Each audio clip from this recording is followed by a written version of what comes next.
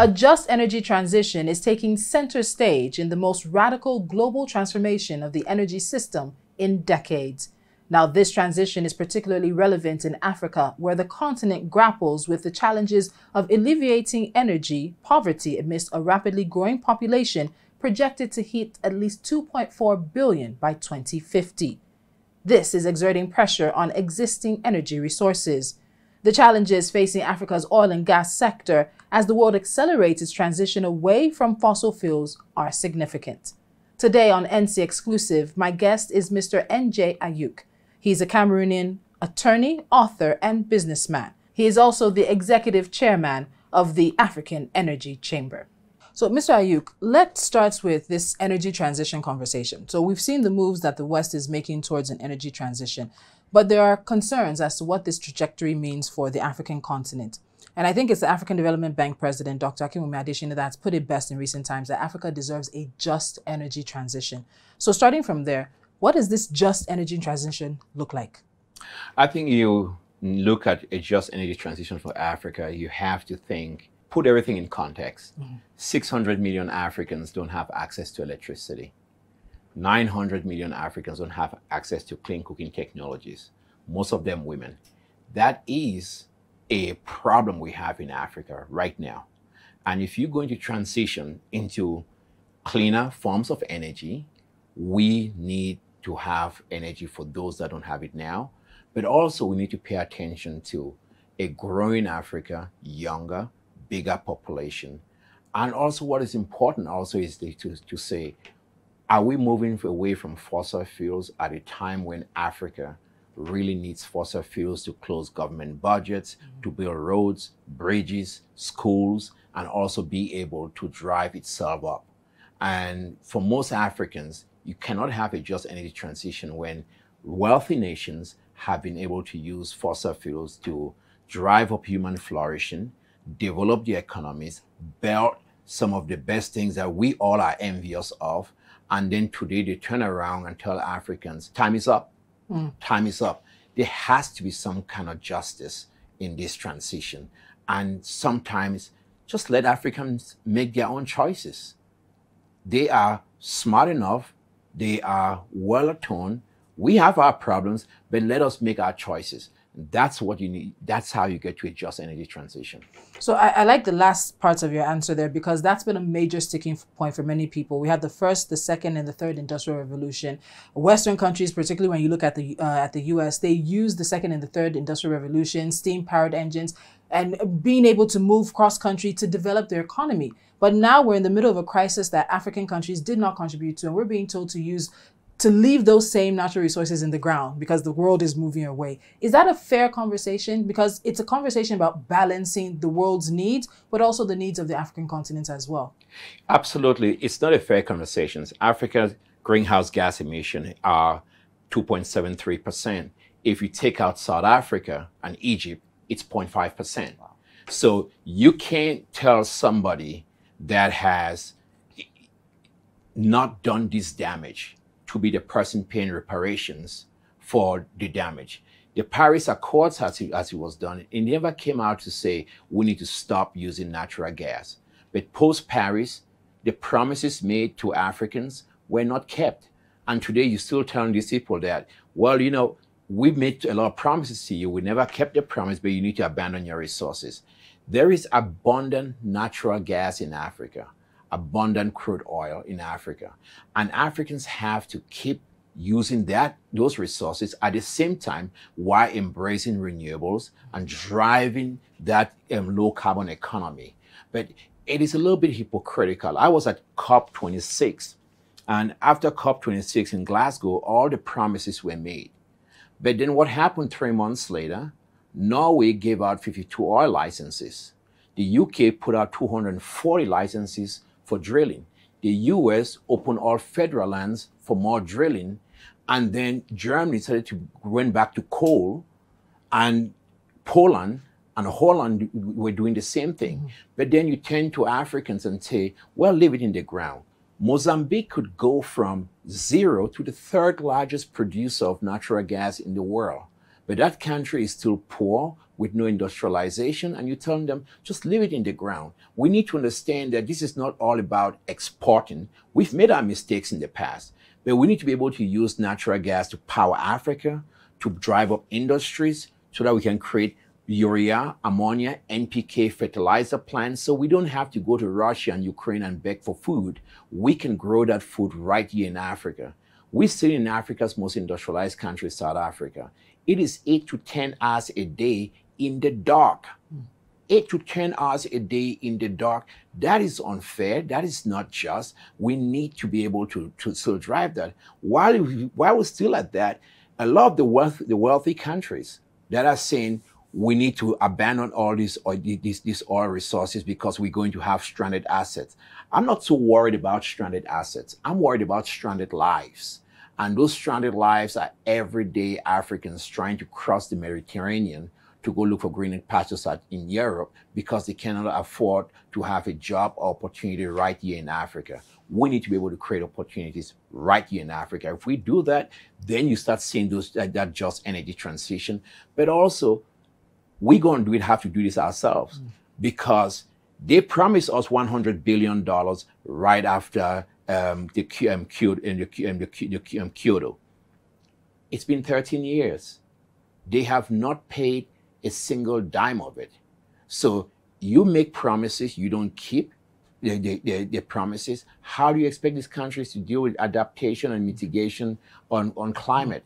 So you left on your own. And I always say, you know, I watch Nollywood and I watch Hollywood, but you know, Superman is not coming, Batman is not coming, Wakanda Forever is a good movie, but a Black Panther is not coming. We as Africans have to be able to deal with financial solutions to really drive up our own energy transition and on our own timeline.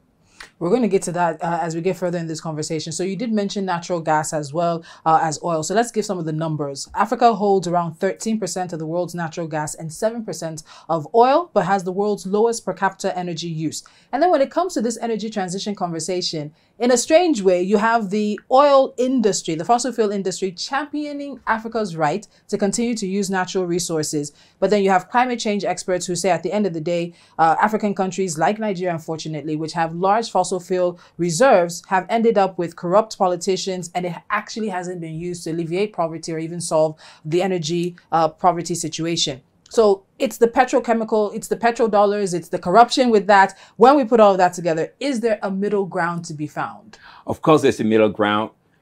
The past is reference, not residence. Mm. If we are going to reside in, like we are at the Chamber of always said, we should not reside in the past of colonization. We should not reside in the past of slavery. If we have to go back, then we will never be able to find solutions for the future. The future is this. We've seen an assortment of you know, dictators, corrupt bandits that have really plundered Africa, both international and local. However, where we are today, we have to start addressing that. And to, to, to, give more credit, a lot of African countries have taken steps where they have put in more regulations to really curb down on this, engage with the extractive industries transparency initiatives, but a lot more work has to be done. But this is really where you have to change your mindset and say, it's not about getting a lot more capital or getting a lot more money into government, which are struggling with governance issues. This is where you look at free markets, limited government, individual liberty, and pers personal responsibility, where we we're driving up business. We're driving up money in the hands of everyday people. So you get to unleash the power of the continent. It's younger people, it's women, and seeing how this works. That's why the private sector is more important because the private sector is able to take huge amounts of money, manage it, look at P&L, balance things, and then drive even innovation and different things for the future, rather than having a lot of this money in the hands of politicians where it's only spend, spend, spend, corrupt still, and you can't continue the same the same strategy of the past into the future. We need to go on a correction course. But that doesn't mean that fossil fuels are bad. There have been examples across the world. There have been some examples in Africa where fossil fuels have been able to show a lot of development, create more jobs, pay some of the biggest taxes into government, but also create opportunities. I mean, let's take, for example, Nigeria. The fossil fuel industry has created more, more multimillionaires or billionaires than any industry in, in, in, in that country. And you see that in, again in, in even other countries like Angola. Have there been mistakes? Of course they have been. But we should, it's about fix it, don't end it. Mm. And we also need to be futuristic. And we should not talk about the renewables. Well, let's talk about the, the, the um, renewable energy sector. $600 billion in green bonds. Less than 2% went to the African continent. How is that just? How is that fair? But also, most of the renewables, you are not building the supply chains in Africa, so you're still encouraging a different kind of corruption where the, the critical minerals and metals who is, who is, who is looking at the 14 year old or 12 year old girl that has to be um, in school but but is, is digging up mines for it to go to China and go to wealthy countries to bring us back the, the, the, the, solar panels.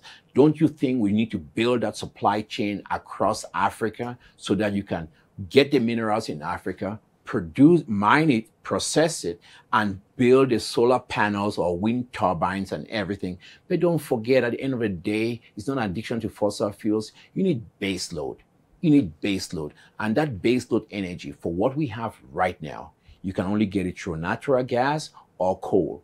You could still say we can phase down or phase out coal, but natural gas is still our best option for baseload for baseload energy. And that's why you need to, have to right now we need to see more pragmatism, more common sense, and more balance as we approach this. You mentioned climate change, uh, adaptation, and mitigation earlier being futuristic. We're talking about the now for mm-hmm. millions of Africans right now. Where do we stand when it comes to climate change, adaptation, and mitigation in terms of the energy industry on the continent when we see these massive disasters that have claimed thousands of lives and displaced millions across the continent? It's called global warming, not Africa warming. Mm-hmm. There needs to be a global solution to this. And I'm not going to debate the stats, but if everything was based on climate and based on um, the stats that being thrown at us, if having 2.73% or 2.75% greenhouse gas emissions and going through that, Europe would be underwater right now because they are somewhere between 14 to 17%.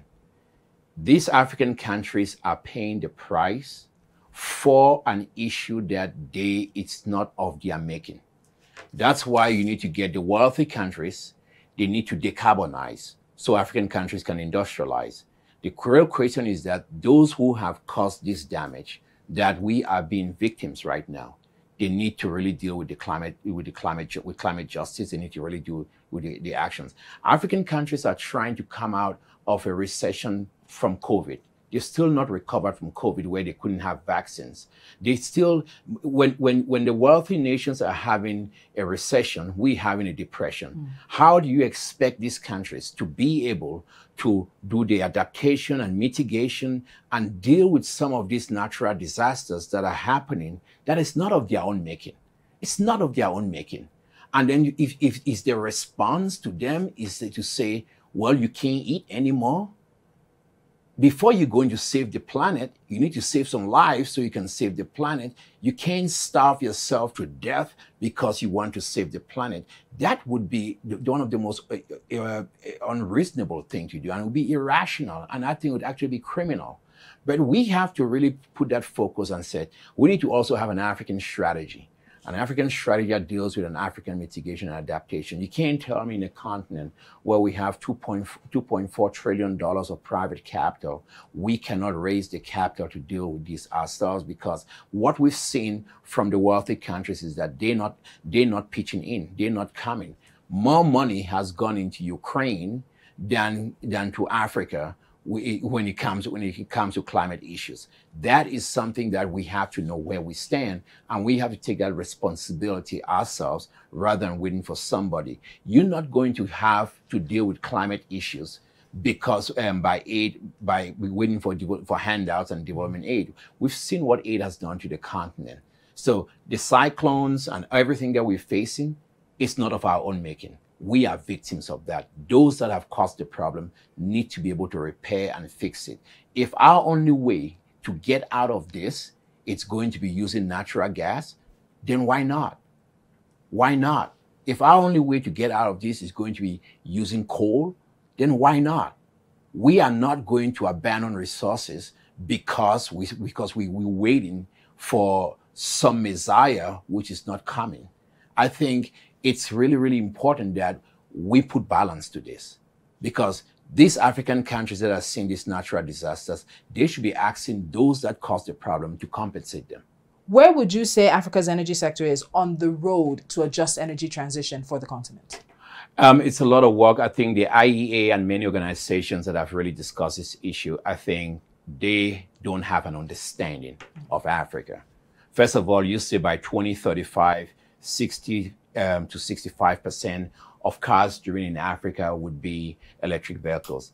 I mean, somebody doesn't have light and you tell them about driving a Tesla. Hmm. I think that's be, being very, very out of touch. We need to first get electricity before we start talking about having a Tesla because that stuff would, that's you would drive that stuff for two hours and you wouldn't be able to drive it anymore. So when you put that kind of stuff in a report and you try to drive that narrative, that tells me that you're out of touch with the continent.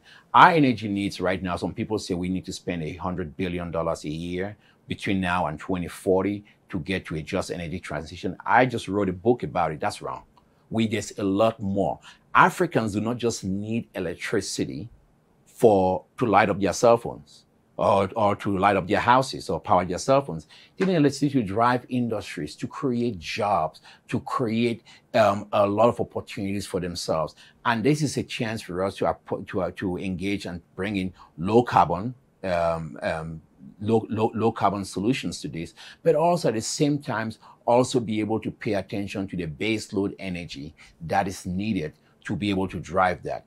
Our roadmap to a just energy transition is going to be gas, baby gas. We're going to have to drill for natural gas. When I say drill, baby, drill, sometimes people get offended, mm. but it's still going to be drill, baby, drill. You're going to drill for natural gas. You're going to use some oil to get to get there. And in some cases, you might going to have, have to use coal, but even though it's still being decommissioned right now, but you need to face, still find ways to face out coal. At the same pace, you need to fast track how you bring in renewables into our energy system while also embracing um, new, new fuels like hydrogen fuels, seeing how you could use hydrogen to really drive a hydrogen economy where you could still be able to replace, to, to take care of heavy industry. We need like cement. Heavy industry is our, one of our biggest consumers. Cement, we need to deal with that and we need to be able to drive that. I think there is a pathway, but it's going to be very expensive. Most people do not understand how expensive this is. It is going to be very expensive. And there is right now no pathway to financing Africa's transition. Hmm. You're not going to have this transition by just wishing. It's not wishful thinking. We need to, somebody has to pay for it. And are we going to tax Africans every day to pay for it? Are we going to increase um, um, prices at the pump every day to pay for it? Or are we going to tax everyday people that are working where we still have um, a, a, huge amount of people without jobs? And so we need to bring it home. We need to narrow, we need to get out of the big IEA talk and the big uh, things and really see what do every people want, everyday people want? They just want to have a good, decent life where they have energy and they can raise their families. And if we're not meeting that, then we're failing. So when it comes to this issue of financing and and closing that gap, are we looking at international partnerships? Are we looking at what are we looking at? Because again, you also said earlier, there's no Black Panther coming to save us. There's nope. no Superman, and we can't wait for the West to give the handouts. What then is the solution? Where does the money come from? You can find the money within Africa, but we have to deal with our governance issues. Hmm. We have to look at the mirror. I mean, most of the time we say we just mirrored images. But mirrors are to correct what you see, not reflect what you see. We have been reflecting a lot about what we see. Our governance systems are really, really bad. We've done some improvements, but we need to hit it harder. We need to step it up because money goes well it's where it's welcome. So it's whether it is African capital or international capital, we need to be able to have the right kind of tax environment where people can invest and know that there are incentives. We need to be able to deal with corruption transparency issues. We need to be able to deal with repatriation of funds. We need to be able to deal with so many ills that we continue to see. And these governance and above risk issues are really, really killing us. And that is the problem. And if we don't pay attention and really address these governance issues, then we're going to be in, in massive, massive problems. Because whether it's an African hedge fund or an African private equity, they are not going to put money where they see the risk and the exposure is too high because we are not addressing that. But we also need to do with the red tape issues and bureaucrats and you want to launch a get a project going or you want to raise capital for a project going and stuff is documents are stuck with um, uh, unelected bureaucrats sometimes Civil servants. and what happens it shouldn't take so long to approve a project than the time you need to build that project but what is going on with bureaucrats holding everything behind? You're killing African ingenuity. You're killing innovation. You're killing entrepreneurship. And that's what's really going to drive it. Government is not going to be able to close this gap. It's everyday people. But government, but we need to deal with the governance issues. And I think Africans have to really ask themselves, do we want to move towards really establishing this or not? And this is not some Western um, plot against us. This is not some wealthy nations. It's what we are doing to ourselves. It's how we are addressing these issues. And we are not lack, we, we're not lacking of the skill set. We just don't have the political will to do that. And we are going to continue being stuck because of lack of political will and the gumption to say, let's drive this forward and really build this. So we can't deny the shifting strategies and the shifting dynamics across the world. And considering the fact that there's this global shift towards renewable energy, how do you see that impacting the oil and gas sector in Africa now? Are we already seeing a massive impact, whether it's divestments or in change in strategies? What are we seeing and how does that look going forward? Oil and gas is going to be around for at least the next 70 to 100 years. Okay. So that, that we, we need to take stock of that. But also oil and gas exploration in Africa I would say you have 10 to 15 years to explore because what is happening right now is that as shifting strategies, the IOCs, the international oil companies, they're moving from onshore, shallow water projects into deep water projects. They are going into those big, big ticket projects. And you're seeing that with new discoveries in Mozambique and Namibia. It's um, Senegal um, potential LNG projects coming in, and also you're seeing that with uh, the Ivory Coast. But the dynamics are also that they want to explore better. They want to do it in a more environmentally friendly way and drive those technologies. And they're going to use carbon capture, um, um, carbon cap- um, capture technologies to see how they can still drive that. But we in Africa have to be concerned about one thing. We are still the most unexplored and under, un, underexplored um, um, um, continent when it comes to our natural resources. So there's so many deals that are there waiting to explore Africa, to develop these resources that we are just not approving. That we, we need to see how that translates. But oil and gas has a future. But that future is only going to be determined by how we do it because we need to have a rise up of African independence. The Oandos, the Saharas, the Seplats, the Aiteo and Samoans. African independence is time for them to step up. I think that idea where you get your first million dollars as an African independent and you want to buy a private jet and you want to be on first class to Dubai, we need to cut some of that stuff out mm. and really be able to look at ourselves and say, we are the drivers of that African future. Because what if the IOCs tomorrow? And I ask this question, what if the IOCs say we diversity out of Africa? Who is going to run this, this, this assets? Who is going to acquire this asset? We need to be able to do that. But what if tomorrow you have a law, maybe, maybe in the European Union or in, in the United States, and they say we're no longer going to accept crude oil or gas coming out of Africa. We don't have LNG receiving terminals. We don't have the refineries that can really refine our own crude and use it for our people. And we have not built pipelines to be able to connect Africa where we could be able to distribute natural gas, hydrogen, and be able to use that, that product in Africa. So we would, we could be shut down in a minute. So we need to be very careful and we need to really be able to look at this and change our thinking a little bit. I always believe one thing. All Davids are good, but not all Goliaths are bad. So you got to find ways to bring some common sense and find a middle ground. And in Africa, we have to find middle ground because it's a big, massive continent. There is a continent, there is a country in East Africa like Kenya that is big on geothermal, 90% geothermal. You can't take an oil and gas narrative and think they need to adopt an oil and gas narrative. But also there is a country that's heavily dependent on oil and natural gas like Nigeria or Libya or um, Congo or Gabon. D very different way of thinking. There is a Mauritania or that relies a lot, massive desert, massive iron ore, they have a massive hydrogen potential. You have to find you have to find that. So it's an energy mix.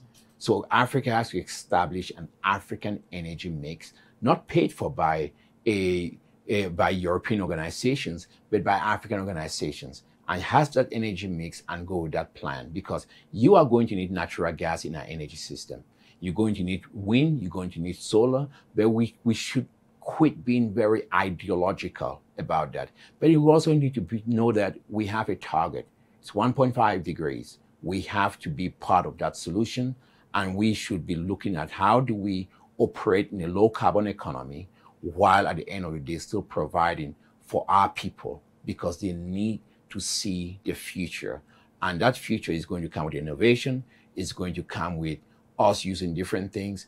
And so we don't want to be left behind. No we want to be, we, I think we have a chance to also leapfrog. And that will be where we wrap things up. Mr. N.J. Ayuk, Executive Chairman of the African Energy Chamber, thank you so much for your time today. Thank you for having me and thank you for coming to Johannesburg, South Africa. It's an honor. It is. As the conversation around an energy transition for the world continues, demands are rising for a just energy transition for the African continent and finding a sustainable way to meet the continent's energy needs is one of the development challenges of Africa. Besides that, decisions made today will shape the future of the continent's energy sector for decades to come. Thank you so much for joining me on this NC exclusive. I'm Tolulope Adeleru Balogun.